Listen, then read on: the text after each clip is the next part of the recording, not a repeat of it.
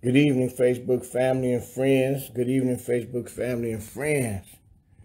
Going through something in here today. I don't know what it is, but God bless you. Thank you for joining me this evening as, as we prepare to engage in our weekly devotion. We just thank God for being so good. We thank God for his mercy, his kindness, and all his goodness. Um, I don't know what's going on with my computer, my Facebook page. It's, it's giving me the blues. Uh, but nevertheless, we're going to thank God for blessing us. Thank God for his love, his mercy, his kindness, and his goodness. Um,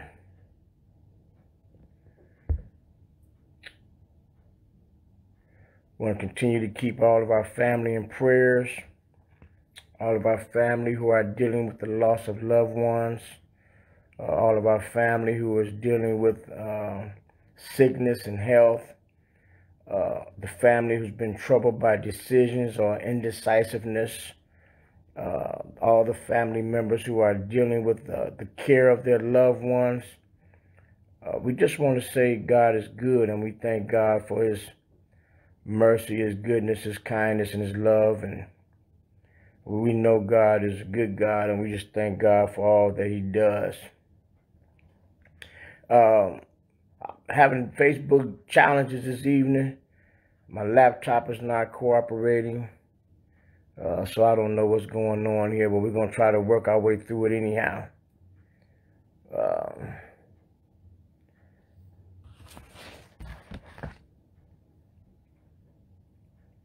page 31 in our book. Uh, good to see you, Ann. Thank God. Thank you for joining us this evening. Again, I don't know what's going on with my Facebook page or my laptop. It's not doing right. It's not working right. But we're going to try to make it through this evening anyhow. So, you know, as you know, we're still in the book of Ephesians.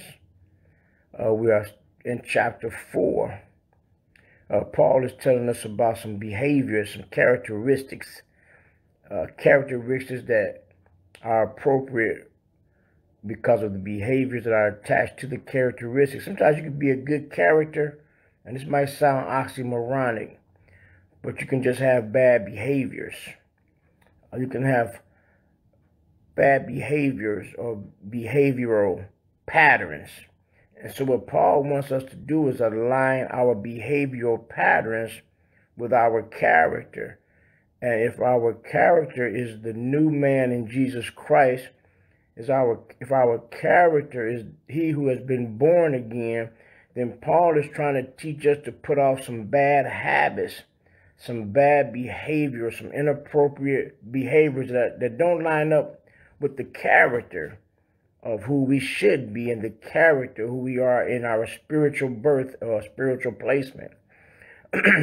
so we have to be make make sure sometimes that the character uh, is suited by our behavior and our behavior suits our character. That's what it means about much when the Bible says, uh, "Speak thou those sound things that speak thou those things that become sound doctrine." Titus chapter 2, verse number 1. But speak thou those things that become sound doctrine, appropriate of one with sound teaching or healthy teaching or wholesome teaching. So we are looking to put on a character and behavior appropriate one to another that identifies us as saints born into the kingdom of unity by Holy Spirit in Christ Jesus. On page 31 of our workbook, Paul takes us to verse number 25 through 32. We're not going to read all of that. That's a lengthy bit of reading, and uh, we certainly don't want to read all of that. We don't want to be labored with all that reading. Uh, so what we'll do is just, uh, we'll go ahead and just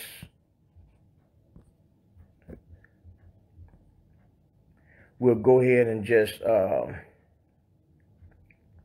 look at some of the things that Paul is identifying for us in our behavior and in our character.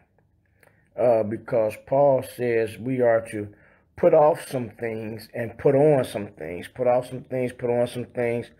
We talked a little bit about this last week. Uh, but some of the things Paul tells us to put off is falsehood.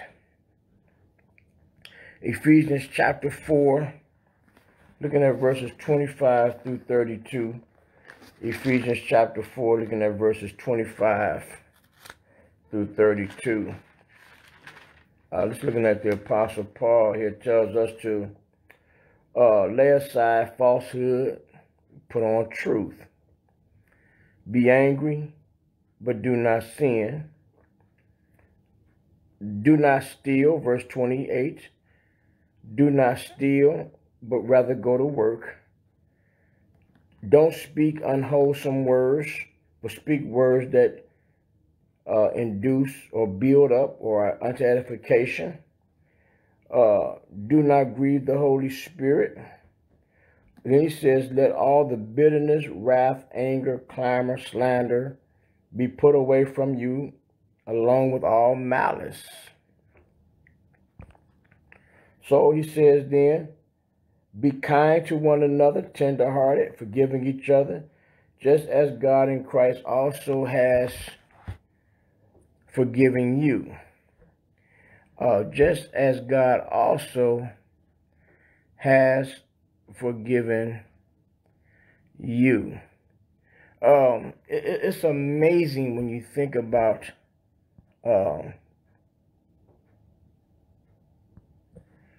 um, what God is calling for us to do because sometimes in our saintly journey or our saintly walk, we find it difficult uh, to put off some things.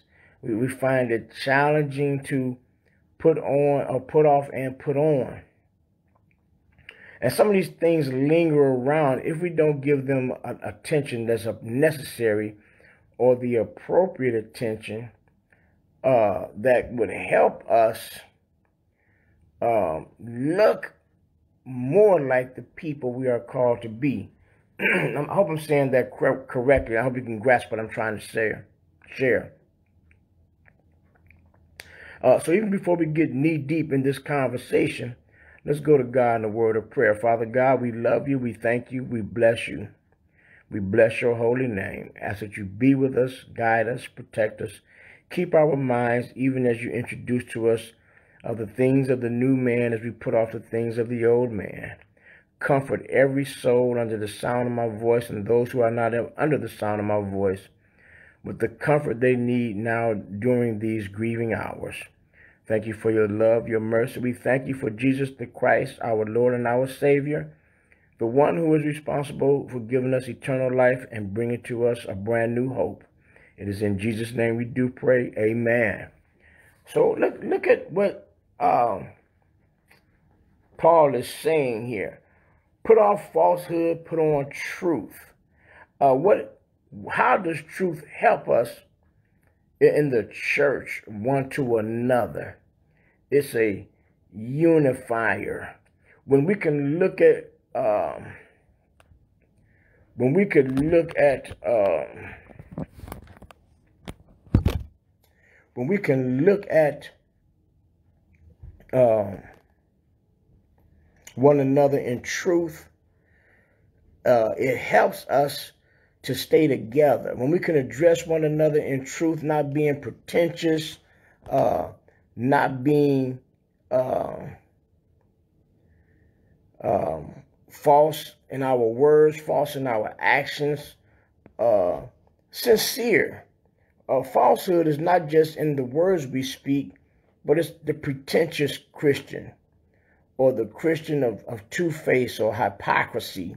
And so the apostle wants us to not be people of falsehood, but, but people of truthfulness. Truthfulness are, are the ones that are bare. What you see is what you get. Might not be the best of me, but I have not ever seen the best of you either.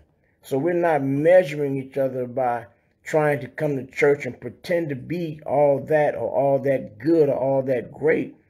We are people who are striving to be more like Christ, even as we uh, deal with our Christian or our human uh, impediments, uh, things that get in the way, things that stop us from uh, being all that we could be.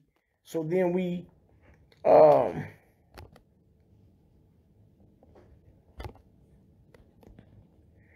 so then we want to be people of truth. Then he says, stop stealing. It, it let those that stole steal no more. Uh, but he says, go to work uh, that you might have to give to others. The working Christian, the Christian that can produce. Uh, stealing here is a tricky word, even in the, the Bible usage in this context, uh, because Jesus called the person who comes to the kingdom or tries, attempts to come into the kingdom or the grace of God. He says, anyone that comes in in any other way is, is a robber and a thief. You can only come into the kingdom or into the grace of God through and by Jesus Christ. Christ says anyone that comes in in any other fashion is but a robber or a thief. Now the apostle Paul comes back here and says, uh, don't steal anymore, but rather work, labor, so that you may have something to give unto others. When we are not mature and we were kind of small minded, we might just only think about those who steal monies, those who steal candies, those who pick up things that do not belong to them. And absolutely, that's a no no. So he is identifying that type of theft also but have you ever thought about uh, the, the the thieving that goes on when you when you come into the kingdom and you, and you take all of the blessings of God and the the blessings of the fellowship of the saints and the blessings of of just kingdom living. And you take and you take and you take but you never give anything back. That's a form of theft. Um when you don't give back that which you have been given, he said, rather let every man labor that he may have to distribute to others. When you're working in the kingdom, you have something to contribute. You have something to offer. You have something to share with other people. You have something to uh, cast upon other people. Uh, you have a goodness. And when you're overwhelmed and when you're tired, the Bible says, do not grow weary in well doing, for in due season you shall reap a reward. So if you don't grow weary in well doing, then you're not stealing. A lot of people come to worship service. They come to uh, occasions and meetings just like this here, praying to God that we will soon be gathered in the physical presence of our Wednesday night devotion that's what we're working toward. We're working toward being out together physically on these Wednesday nights. And I'm sure praying, I'm hoping that you come out to be with us. Boy, we had such a marvelous time, 25, 30 people when we were gathered together on our Wednesday night uh, physical gatherings. So we're really looking to come back out on Wednesday nights and fellowship with one another.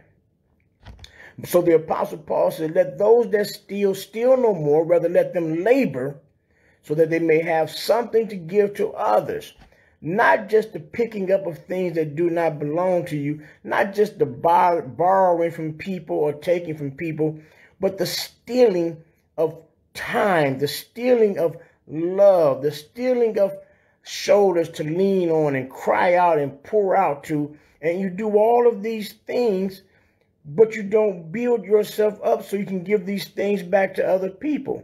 And the apostle says, work so that you can give, not just financially, not just in the tangible world. Yes, that is included also in the thought, but the completion of the thought is you're building yourself up so that you might have something to give to others.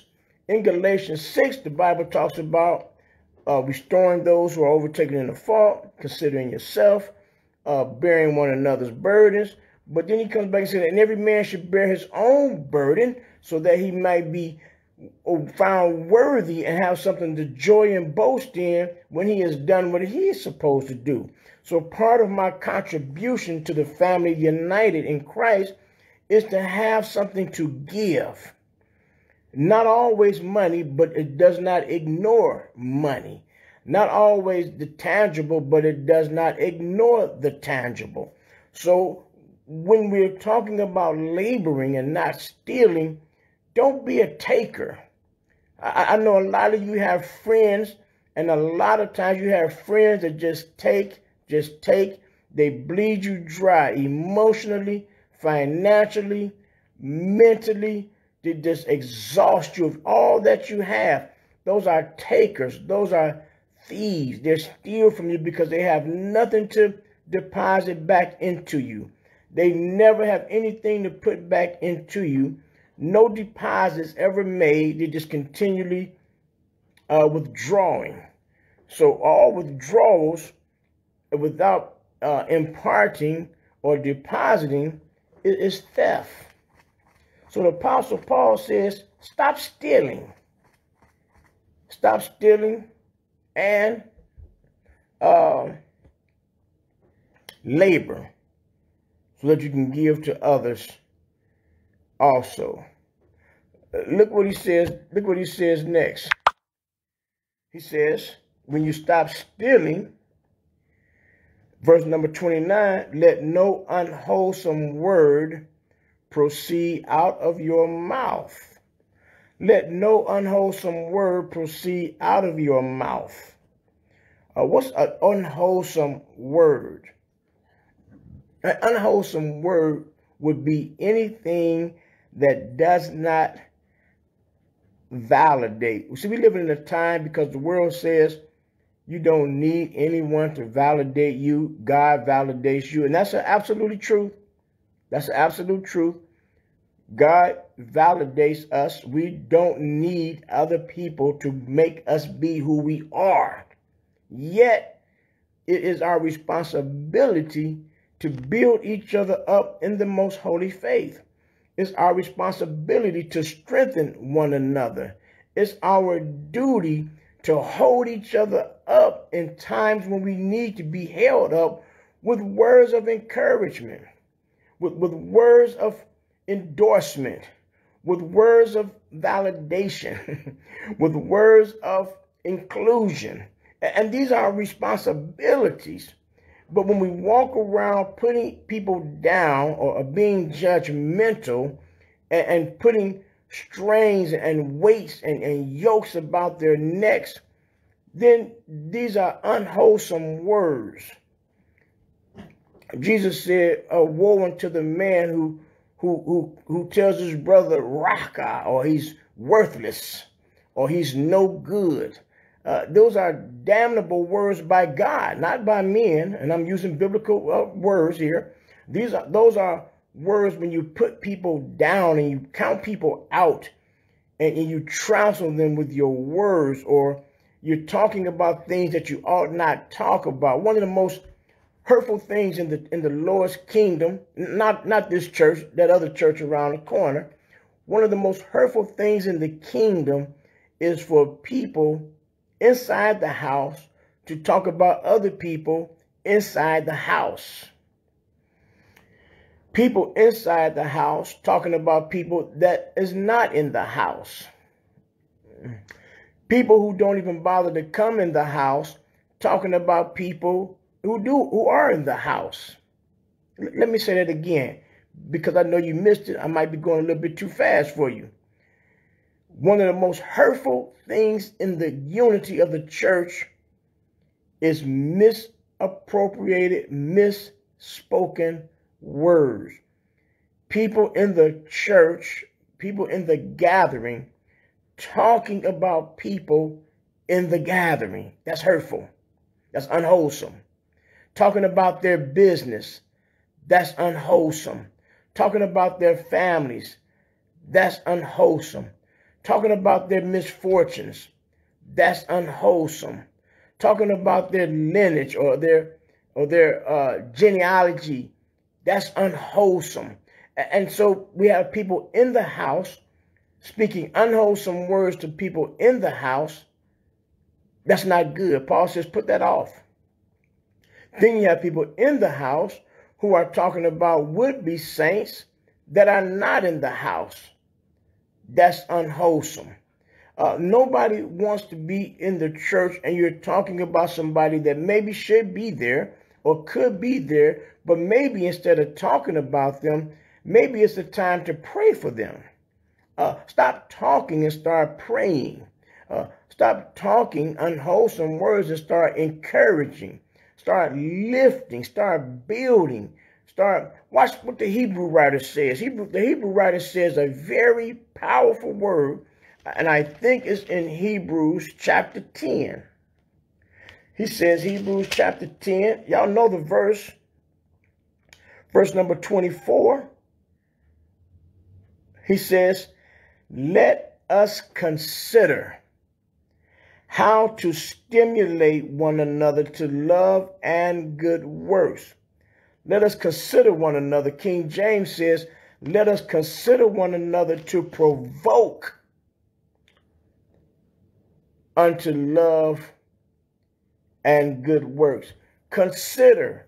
These are wholesome words. These are good words. These are words that that build up the kingdom. These are words that help us to grow. So we, we don't we don't talk about people. We build people up. We don't put people down. We pick people up. We don't walk on people. we walk with people. we don't talk about people. We talk with people and, we, and these are just some of the things that has got to be put off. Paul says, put these things off and, and put on good words, words of edification. But I want you to pay attention to this verse because I don't want you to miss something that's very critical. He says, listen to me. Let no, I'm in verse 29, Ephesians chapter 4. Do not let no unwholesome word proceed from your mouth, but only a word that's good for edification, edification, according to the need of the moment, so that it would give grace to those he that hear. This is this is powerful. Please don't miss this church. Only speak words of edification according to the need in the moment so that whatever you're speaking to edification, it gives grace to those who hear. Oh man, that's that's a timely word, a, a fitting word. Some of the things we say could be to build people up. It could be to strengthen people. And I know we say bold things. You know, Christians are some of the boldest people in the world. so we say, I'm, I'm just going to tell them to their face. So I'm not talking about them behind their back. And what you have to tell them to their face, it might be good, but the question is, and must be answered, is it expedient? Is it the right time? Does it fit the occasion? And will what you have to share, will it make them better under the grace that Christ provides? y'all not paying attention to this because somebody gonna go right and do this and come back and say, "Well, I just had to tell them, so I didn't talk. I wasn't talking about them." If it's not expedient and it doesn't provide their ear with a place of grace from Jesus Christ, then even though you meant it for good, the enemy is now able to use it for evil. You meant it for good, the enemy is able to take it for evil. Paul says, let not your good be evil spoken of. So when the writer, Paul says right here, make sure you're speaking edification according to the need of the moment so that what you're sharing while you're building them up provides them with a space of grace. Some things are better left unsaid. Sometimes we have to use words, but when we're strengthening one another, there a conversation must take place. We've got to learn how to use the Holy Spirit and the strength of the Holy Spirit. And the strength of the Holy Spirit, church, the strength and the power of the Holy Spirit is not just truth, but it's grace. Oh my God. Yes, that's what I'm saying, Jackie. We mean good, but is it really good? Did it fit at that time? I know I shouldn't have slept with her. I, she knows she shouldn't have had a baby. But is that what you're telling them at that moment in time? It, it, they know they got angry and a few words came out that they thought were long gone. But is that the time? Does that provide them with grace? Truth. The, let, let me share this with you, and I, I want you to catch this. Write this down. The strength and the power of the Holy Spirit in us is not just the word of truth. Oh my God, I hope you catch this. But it's grace. The Bible says, for the law, John chapter 1, came by Moses, but grace and truth came by Jesus Christ. It's okay to speak truth, but it's got to bear grace. it's got to be of grace. It's okay to speak truth. It's okay to have that tough conversation. It's okay to build them up in power. But they have got to be able to hear grace, people. They got to be able to hear grace, or else it's just law. You say, well, I told them it was right. I just told them the word of God. Yes, you did and so did Moses. Moses gave them all the law. But the Bible says grace and truth, truth and grace came by Jesus Christ. So the word that we're spitting to people when we're building them up, the timeliness will determine how much grace goes with the instruction. Paul says, All things to the church of Corinth are lawful to me, but all things edify not. Then he comes back and says, All things are lawful to me, but all things are not expedient. You've got to determine what's expedient and what edifies. And you do that by the grace of God and by the direction of the Holy Spirit. You don't pick and choose. You don't decide. Move as God moves, just like that. And you just got to hold on to God and move not because you feel like it, move because the wisdom of God encourages you to move. And if you're listening to the Holy Spirit, he will tell you when to be still and be quiet. He will tell you when to be still and be quiet if you're listening to the Holy Spirit. If you're listening to him, that's his job to guide you into all truth. And you can't be all truth by the Holy Spirit if it's not attached to grace. It's got to be attached to grace. And that's key in that whole verse right there. Do not let unwholesome words come out of your mouth, but words that are good for edification, but appropriate for the moment, so that grace is given to those who hear. Said Jesus the Christ to the woman caught in adultery. He never argued if she was caught in adultery. That was fact. Some theologians, some biblical historians would say that according to some accounts that the woman was thrown before Jesus naked. He's in Sunday school. Jesus is teaching Sunday school and they drag a naked woman into his Sunday school and say, Lord, We've caught her in adultery.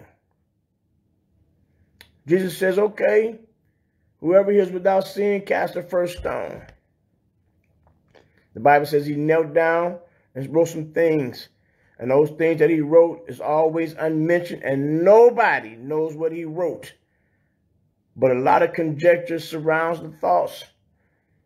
Uh, some say that when Jesus knelt down and wrote in the ground, he started with the oldest to the youngest, writing down their names and he spoke to them. Then they went back to the ground, and then he said, By their names, he wrote down their sins.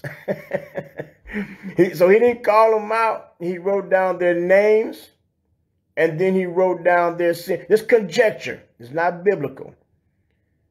Now here's this naked woman here caught in adultery. And they're wanting Jesus to uh, condemn her. No doubt she's guilty. Jesus knows it. She knows it. They know it. Uh, but the Bible says one by one, from the oldest to the youngest, they dropped their rocks and they went away. The woman, fearing condemnation, already burdened by humiliation. Oh, Holy Spirit, help me right there. The woman, in her condemnation, already swallowed up in humiliation. She lifts her head and Jesus says, Woman, where are your accusers? She said, I don't see any. They're gone. Watch this. Neither do I. Go and sin no more. I know you sin. You know you sin. That's not even anything we have to talk about. But grace says, go and sin no more. Words of edification, wholesome words, truthful words with edification in them. Timely, fit, building her up at her worst moment. That's what it's all about, church. That's what it's all about. We got to know how to build people up the right way at the right time with the right word. That's what we're doing here at Greater Heights. We're reaching for new heights. How, y'all like our new mission, our new slogan? Y'all like our new word, go and sin no more. Come on, Sister Mary Cowan. That's what the Lord said. That's grace and truth at the same time. Grace and truth at the same time. Then he says, do not grieve the Holy Spirit of God, by whom you were sealed for the day of redemption. Don't grieve. Y'all like our new slogan? Those that believe on me, greater works than these they shall do, because greater is he that is in me than he that is in the world. We're reaching for this kind of conversation. We're going to strive. We're going to strive. We're going to be able to talk to each other about sinful things and, and ungodly things, but we're going to strive to build each other up build each other up. We need a person that's standing beside us in the battle needs to be strengthened by one another. See, it's easy to fight together. It's easy to go out to war. It's easy to suffer the casualties. It's easy to take some lumps and bruises when you know the person standing beside you loves you.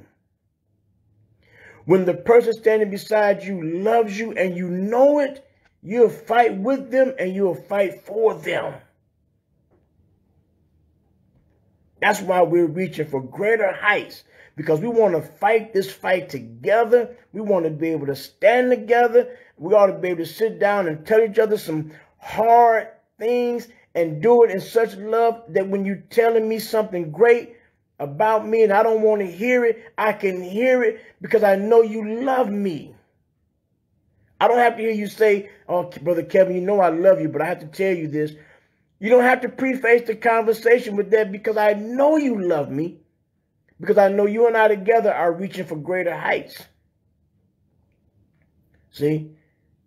That's why we want to make sure we know how to talk to each other here. And when our visitors come in, we'll know how to talk to them and they'll see we know how to talk to each other. When the visitors come and God adds to this family while we're planting and watering, God bringing increase, they'll say, man, they know how to talk to you in there. They talk right to you.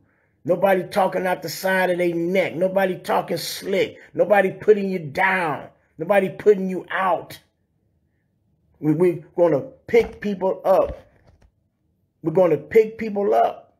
That's what we're doing. In the church and out. When they coming in, we want to pick them up because we know how to talk. What's the next thing? Do not grieve the Holy Spirit. of God, by whom you were sealed for the day of redemption. Uh, the grieve here is just interpreting as it is. There's nothing deep about this text. It's simple. Do not make the Holy Spirit sad. Don't sadden the Holy Spirit by moving contrary, what we just talked about, speaking proper words. You, you know, sometimes when you get ready to say some things to people, you know already you are not say it. You know before you say it. You know before the words ever move from your lips as they're forming in your mind.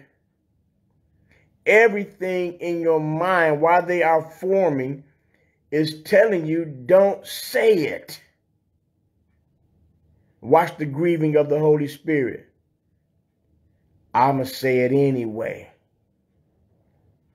That's grieving because the Holy Spirit, you sadden the Spirit because He's told you. And it's not some kind of uh, spooky thing, the Holy Spirit talking to you. He's never audible. We know that. But He talks to you through your knowledge of discernment he talks to you through your uh, relationship with God and your wisdom and your acquaintance with the Word of God.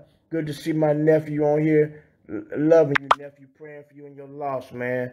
Praying for you and your loss, my brother. Uh, so God bless you and your whole Patterson family. Just had to drop that in there real quick. Um, do not grieve the Holy Spirit of God. He's the one that's holding on to you till Jesus Christ comes his responsibility, his job is to hold on to you until Jesus Christ comes.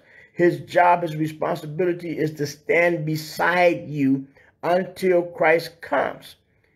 His job and his responsibility is to keep you cleansed, keep you whole until the Lord comes. He says, don't buck me in what I'm trying to do. Don't make my job hard. I could give you a biblical verse and it might just, it, it might 747 you because there's a plurality in the text, but I'm going to strain the text for this verse right here. When the Hebrew writer says in Hebrews 13, first, uh, verse 17, um, obey them that have the rule over you and do not make their jobs grievous, for they watch out for your soul. Uh, in all probability, he's talking about the elders. I, I don't have no problem with that. But can you just strain that text to see the power of the Holy Spirit in that scripture? I just want you to just let your mind move for a moment. Because it's plurality in the text. So we know there's a multiple persons. It could be the shepherds. It could be singular and ideal, but just spoken to the multiple persons of authority over you. That text has a lot of different moving parts in it. I don't have time to break that down. Obey them that have the rule over you, and do not make their work hard or laborious or laborious because they watch out for your soul. Now watch this. Watch coming back to our scripture obey the Holy Spirit, for he watches out for your soul. and do not make his job hard because he's responsible for you. See, when we can get to obeying the Holy Spirit because we know he's watching out for our soul and we can't make his job hard, we have better workings with men that are moving over us because they're caring for our soul. We haven't yet learned how to follow the Holy Spirit. No wonder. And I spoke out to Antonio because it just happened. But we got we got uh, my wife's grandmother in there, Sister Cowan, just lost Brother Cowan. So we want to keep that family in prayer always as well, just as dear and just as near to the deaths. So keep that family in prayer. I had to do that. I don't usually do shout outs in the middle of class, but I'm looking at both of their names side by side and to see them still in class, still worshiping, still going on, even though their hearts are heavy. God bless the both of you. May he anoint you with a fresh anointing of comfort in this particular hour. Do not grieve the Holy Spirit. because he's watching out for your soul. Don't go against it. Don't fight the power that be. Don't fight the power that be. And the Holy Spirit is that power. Don't fight him.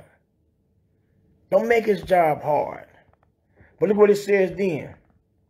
We got to get ready to get out of here. Here's the hard part. This is where y'all gonna wrestle right here. This is where y'all. This is where all y'all gonna get mad at me. But don't do it. Just look at your Bible. Don't even look at me. Verse number thirty-one. Let all bitterness be put away from you. It doesn't matter where the bitterness came from. Let all bitterness, I'm in verse 31, Ephesians chapter 4. Let all bitterness be put away from you. Uh, a bitter heart. We talked about that thief a little while ago. Let no man steal, but let every man labor. A bitter spirited person robs people, steals from people the peace and the joy that God would have for them. Bitterness, watch this, as much as it hurts other people, it hurts you. When you're a bitter person at heart, when you're a bitter person in spirit, you can't enjoy the, the, the peace of God.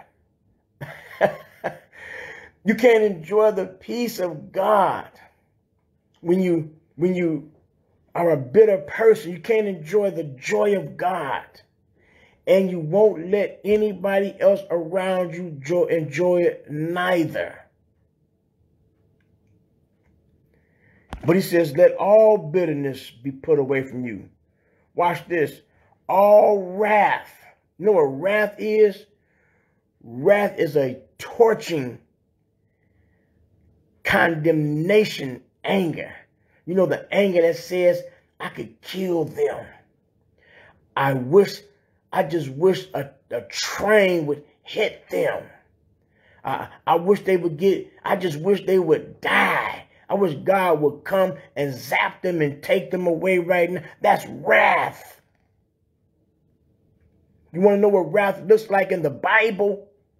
To show you that I'm not telling you anything wrong when Christ was on his way to the cross, all the scourgings, the beatings, y'all remember that, you, re you remember the passion, how they was tearing meat out of Christ's back, tearing his, his muscles from his bones, snatching chunks out of him.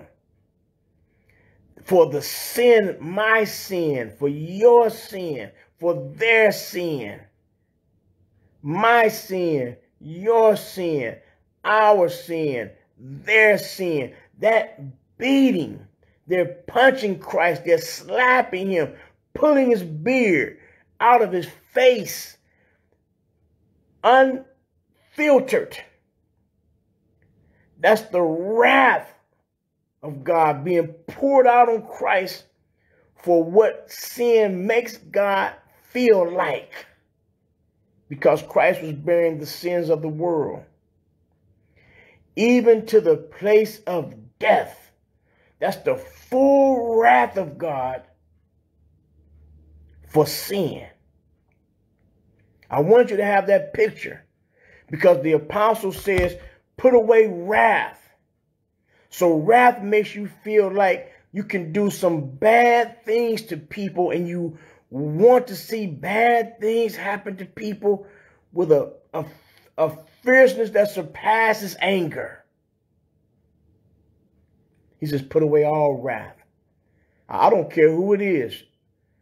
Greater Heights and all you visitors, family and friends, whoever you are, that person or persons that you just can't stand and you just wish something would happen to them, pray God remove that spirit from your heart tonight. Pray God replace that spirit with grace and compassion. I know it's going to hurt you to let them off the hook. Nobody wants to let anybody off the hook that's been that's been so painful to you and, and can anger you to the depth of you. the depth, D-P-T-H of you.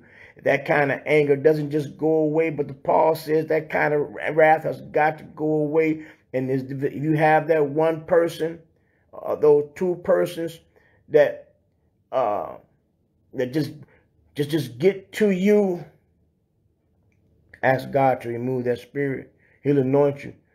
Uh, a caregiver Yes, yes, Jackie. We all and you know what? We always pray for you, sister. You know that. We pray for you openly. For your patience and, and anybody else that's doing what you're doing. We watched you with grandma. We watched you with mom. Now we're watching you with we know you need patience and we're praying for you, sister. We are, we are always praying for you. Sister Mary stayed there with uh, uh, Brother John, my wife's grandfather John all these days and sometimes you just have to just grab her head, go upstairs, take a deep breath, get on her knees, say a prayer, and come back. because it can be tough. My sister Michelle, yes, remove it. Ask God right now, all of you right now who's got that one person that brings wrath out of you, and you don't even want to see them live. Ask God to remove it from you. Let it go. Lay it down. Then he says, anger, wrath, bitterness, wrath, anger. They're in order, but they're going in reverse because anger leads to wrath and continuous wrath, a continuous anger person that want to see people do stuff can become bitter. Might not always show. I don't have to be bitter to you, uh, Sister Mary, I have to be bitter to you, Jackie, to be a bitter person, but other people can see me around to my, oh, that's a bitter man. He's always uptight. See, bitterness don't have to show everybody. Yes, Brother John, we're going to pray for you and your family for the loss of your auntie. We're going to ask God to comfort you and your family with the comfort uh, necessary in these hours. Slander. That goes all the way back up there. He's, he's recapping some things now. Put away all slander. Slander can be a truth. But you're speaking these words to the detriment of somebody else's well-being or character. is slander. See, somebody taught you slander was speaking bad things about people or wrong things or untruth. We think because they're truthful, you can speak them. No, if you're defaming somebody's character, you're assassinating somebody's character, if you're putting them down and putting them out, that's slander. See, I, we think that if I tell you a truth about somebody and it makes you cringe the next time you see them, it's not slander because I told you the truth. That's slander.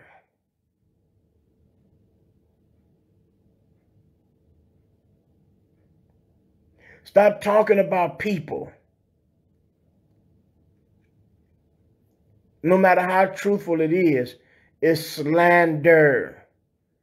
You're assassinating that person. The Bible calls it murder with your tongue.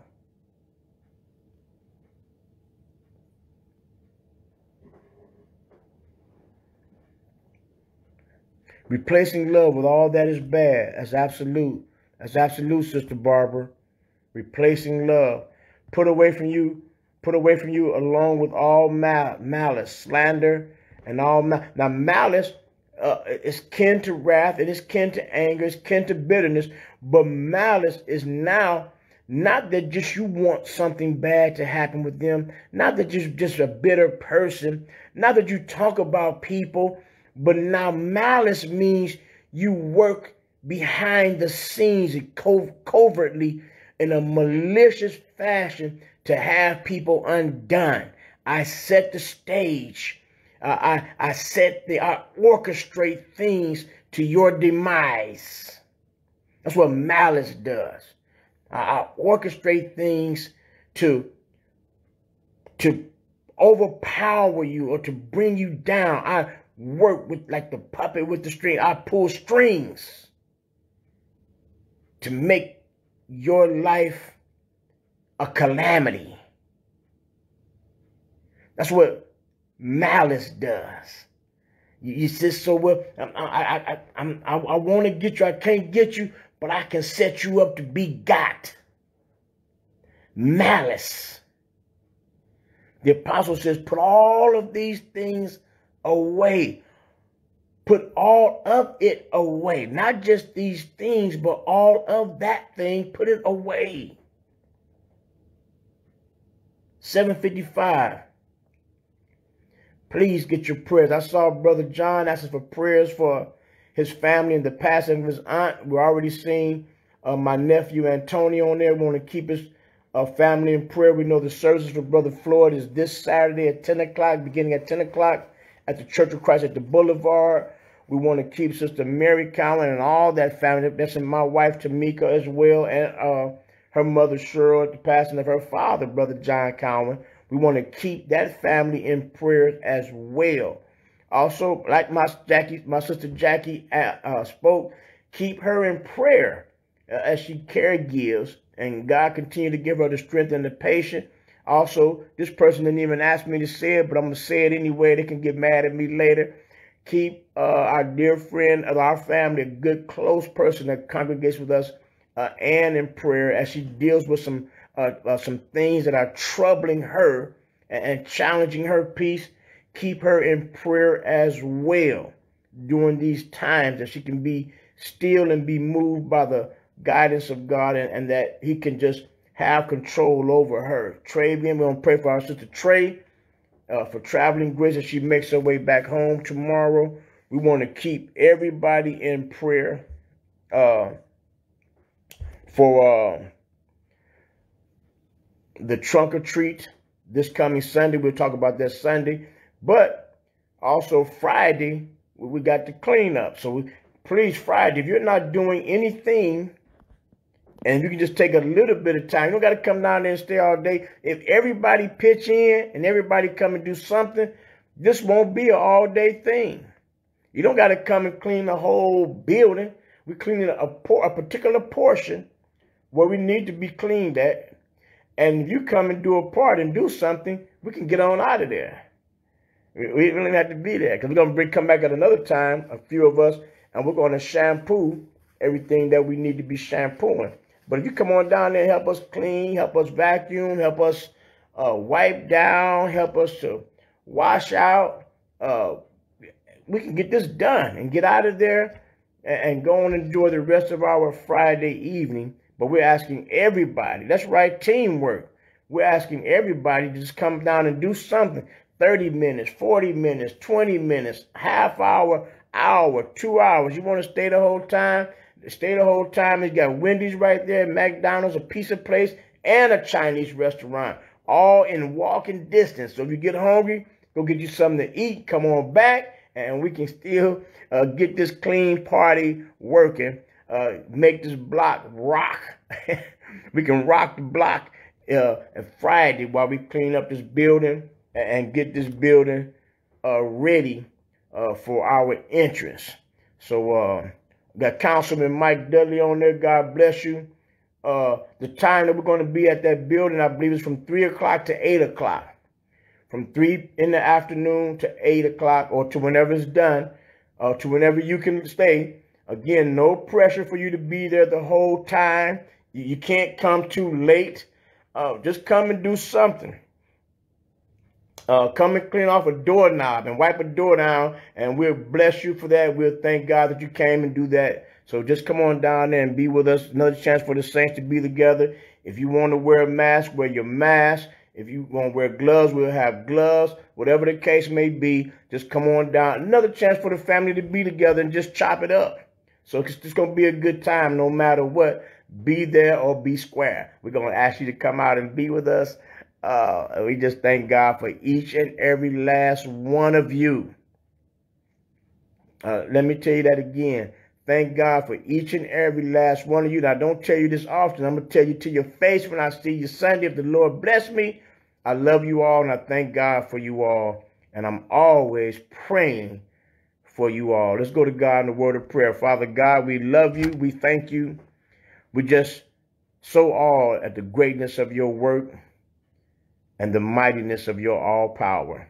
Help us, O Lord, in our feeble way to put off some of these old things and put on this new man, these new character, these new personality and behaviors that we can be the light to the world and be a, a united family. These things make us stronger with one another and it builds our love and trust one for another. When we learn how to talk with each other, not talk about each other, not to be angry or bitter with one another, but tenderhearted and kind. We thank you, Lord, for every person under the sound of my voice. We have multiple family members who have lost loved ones. God, we have multiple family members and friends who have lost loved ones. We ask you to comfort them and their families, not just tonight, but in all the nights to come. Be a source of comfort. And as their family, may we comfort them as well. We have family members who are being challenged in their health.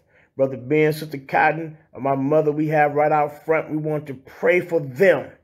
Uh, Brother Darren Stewart, as he's making his way in recovery, we're praying, Father, that you strengthen them in their bodies and that we be there for their support and strengthening as well. Again, the names are too many uh, for me to remember, but Sister Michelle Brooks and the Bostic family, Brother John McGinney and his family, Antonio Patterson and the family by Brother Floyd Patterson, uh, Sister Cowan, and uh, uh, the, the passing of Brother John Cowan. I, I know I'm going to miss somebody. Somebody's going to be angry. God, please make intercession in my behalf. Thank you for your love. Continue to bless this congregation. Uh, bless this congregation that she may be the greater height and strive to reach the heights that you set for the church to reach. And we know we can do all things by the Christ Jesus that strengthens us. Forgive us for all of our sins.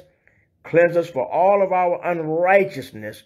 And continue to anoint us with the daily presence of your mercy and your grace as we strive to walk in your truth. In the name of Jesus the Christ, our Lord our Savior and your Son. In Jesus' name we pray. Amen. God bless you. Yeah, uh, yeah, brother. Uh, yes, councilman. I'll get that information to you. Absolutely.